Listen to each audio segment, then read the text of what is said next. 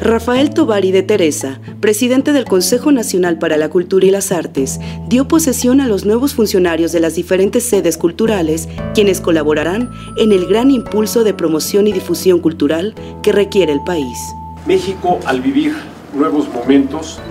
necesita desarrollar acciones que se encaminen hacia la regeneración de su tejido social, la recuperación de la autoestima individual y colectiva, la afirmación de identidad y de identidades locales, un papel más activo de la cultura en la construcción de nuestra imagen internacional. Los nuevos titulares son Álvaro Rodríguez Tirado, director general del Centro Nacional de las Artes, Jorge Von Ziegler, coordinador de la Agenda Digital, Susana Ríos, Coordinadora Nacional de Desarrollo Infantil, Alejandra de la Paz, Coordinadora Nacional de Patrimonio Cultural y Turismo, y Ricardo Cayuela, Director General de Publicaciones. También, el presidente de Conaculta ratificó en sus cargos a Jenner Hoffman en la dirección del Centro de Capacitación Cinematográfica, Antonio Crestani en la Dirección General de Vinculación Cultural,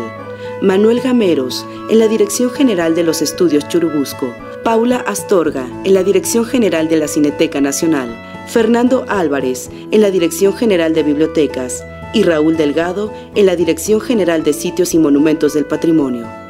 El titular del CONACULTA precisó los objetivos centrales de su política cultural que son la preservación del patrimonio cultural, al estímulo de la creación individual y colectiva, la educación artística e investigación cultural, el fomento a la lectura, los medios de comunicación e industrias creativas y la difusión cultural y artística.